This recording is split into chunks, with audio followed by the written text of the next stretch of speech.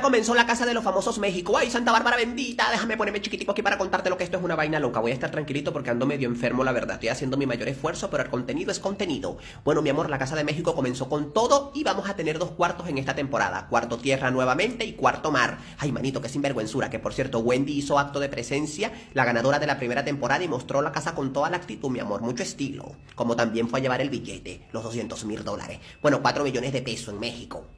Voy a hablar como que de los aspectos más relevantes. Chanik entró con su marido, con un muñeco con la foto del marido de ella, porque ella quería entrar con las hijas, con las cinco nietas, con el marido, con todo el mundo, y la jefa le dio como que la oportunidad, y les hicieron unas preguntas arrachísimas, que qué hace un ingeniero industrial, pero ¿cómo sabe de chisme? Ay, no, Chanik es de la gente que sabe más de chisme que de cultura general. Ay, no, manito, que sinvergüenzura. Y ya Chanik lo está dando todo porque le dijo a Adrián Marcelo que no le gustó que dijera que las mujeres del medio le daban asco. Y para rematar dijo que a ella le gustaría ganar la casa de los famosos porque ella nunca ha ganado nada y ella no se quiere ir de este mundo sin haber ganado algo. Ay, manito, que desnarque. La jefa en esta temporada se volvió como loca porque empezó a colocar unos desafíos y le colocó a Agustín y a Brigitte el de los siameses. Por una semana entera tienen que estar pegaditos con esas bragas porque si no se van a quedar sin pastas de diente. Pero me da risa porque Agustín carga a Brigitte como que si fuera un bolsito. Me gusta como que la química que hay entre ellos dos, que ya soltaron el chismecito del romance entre Agustín y Dania. Ay, manito, que sinvergüenzura. Y Brigitte me cae bien, ¿vale? No está tan, no está tan mal de personalidad, me cae chévere. Ay, manito, que desnarque. Y Agustín buenísimo, sabroso y delicioso. Por otra parte, a Sabine Musier le tocó uno de los desafíos más complicados, que era básicamente que le iban a decir una contraseña, ella se la tenía que memorizar y con eso iban a desbloquear la nevera, como con un segurito que tenía la nevera esa. El hecho fue que Sabine no pudo completar la prueba. ¿Por qué? Porque esto es una vaina loca, que es sinvergüenzura.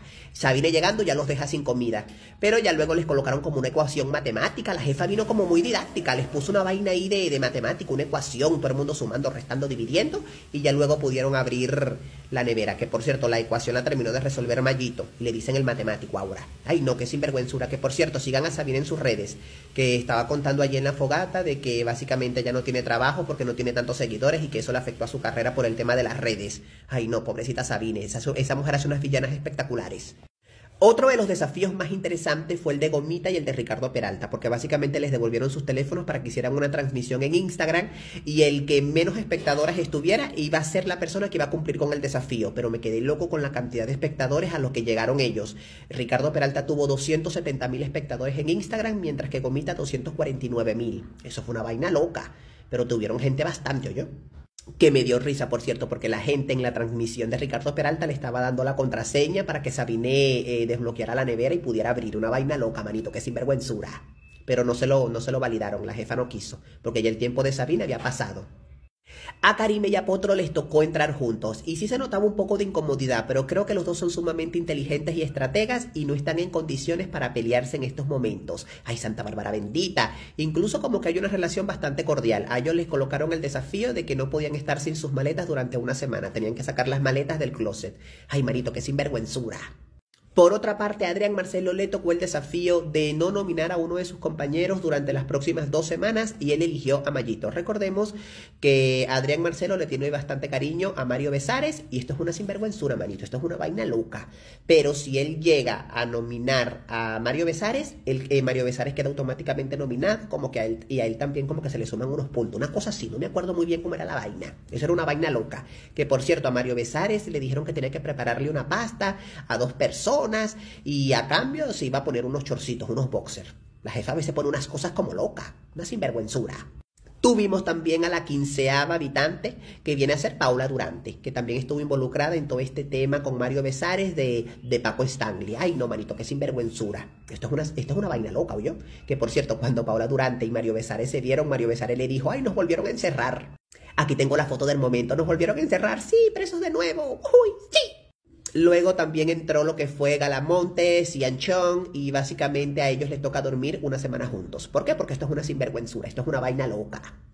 Arab de la Torre, por su parte, le tocó el desafío de entrar al confesionario y abrir una de las tres cajitas que había allí. Una le daba como que inmunidad, otra este, le sumaba dos puntos a su nominación y otra como que le daba el poder de nominar a alguien, una vaina así. El hecho fue de que él agarró la caja donde se le iba a sumar dos puntos para su nominación. Y él como que se molestó, puso una trompa, porque ya básicamente tiene dos puntos. O sea, dos puntos para su próxima nominación, que es el miércoles. Ay, no, manito, qué sinvergüenzura. Que por cierto, qué bellísimo ese vestido de Galileo, yo ese cuerpazo que tiene esa mujer y esa casa con un montón de patrocinadores. Ay no, hay bastante presupuesto esta vez, más de la temporada anterior por lo que se ve manito. Y bueno, en esta ocasión los cuartos fueron sorteados, mi amor. Y en el cuarto tierra quedaron los siguientes: Gomita, Ricardo Peralta, Mariana Echeverría, Brigitte Bosso, Agustín Fernández, Sabine Musier y Adrián Marcelo. Me encantó cómo quedó el cuarto tierra. Me hubiese gustado que ahí hubiese quedado Karime, porque hubiese quedado perfecto. Pero igual, yo creo que esta temporada, a pesar de que están por cuartos, no va a ser por cuarto. No sé qué piensan ustedes. Y en el cuarto mar quedó Karime, Galamontes, Arab de la Torre, Chanik Berman, Mario Besares, Potro y Paola Durantes. Que por cierto, a Adrián Marcelo le toca dormir con Paola Durantes en la habitación del líder, porque Paola Durantes estaba ahí como de sorpresa. Y el público tenía que decidir quién iba a dormir en la habitación del líder. Y bueno, el público decidió Adrián Marcelo. Ay, Santa Bárbara bendita, es que Adrián Marcelo está muy fuerte. Nada más sáquenlo por allí, que rapidito en una, en una votación rápida, la gente lo puso ahí arriba.